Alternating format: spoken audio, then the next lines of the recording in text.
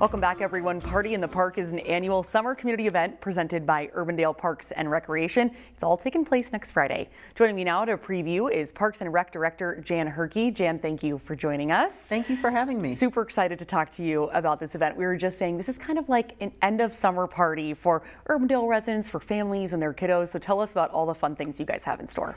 Next Friday, we'll be having the party in the park. This is our second one of the year. We have one earlier in the summer, and like you said, the end of the summer, great for the kids and family. It's activities for all ages. We have live music, um, inflatables, a number of different inflatables that are extremely. Those are popular. oh my gosh, a whole outfield of a ball field is right. full of inflatables, um, laser tag, mini golf, so something for all ages. This year we're going to have some uh, educational information about monarchs.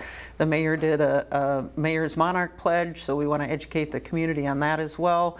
And uh, of course, people come for, let's come for dinner. So we have a variety of different food trucks and the beer truck. Those obviously are a cost, but otherwise everything is free for the community. Um, come enjoy. That sounds great. And of course, Urbandale residents are invited, but for any of the surrounding metro areas, can, can families come as well? Absolutely. Anybody that wants to come and enjoy it.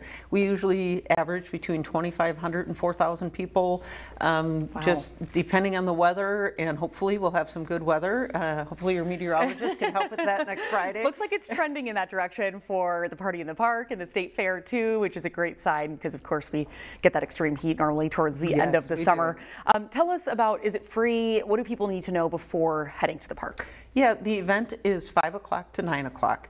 Um, and like I said, live music and so forth. So um, there's some waiting in lines mm -hmm. when you mm-hmm. have that many people, a bounce house and so forth.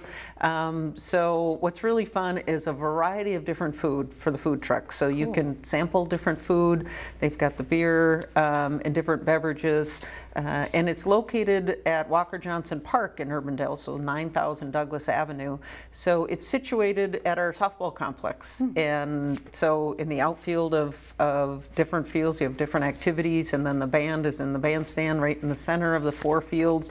So it's a wonderful setup. We've got playgrounds. Uh, it's our regional park, so we have some neat playgrounds. If, if you're waiting in line or the kids want to play on the playground, there's those activities that we have at the park year-round as well. Awesome. And for everything that you just mentioned, all these fun activities, the events, the, maybe the live music lineup, where can people go to find more information? Uh, they go to the city website at uh, www.urbandale.org and you can find more information about it. Perfect. And as you mentioned, the event is free. You have to pay for food and things like things right. of that nature. Okay. So right. maybe just bring some cash and like you said, maybe you can just come out, have dinner with the family, make it make a night out of it. Absolutely. That's what a lot of people do and it's been since 2018 we've been doing this and it's it's just been a fun event and, and fun to showcase our regional park as well.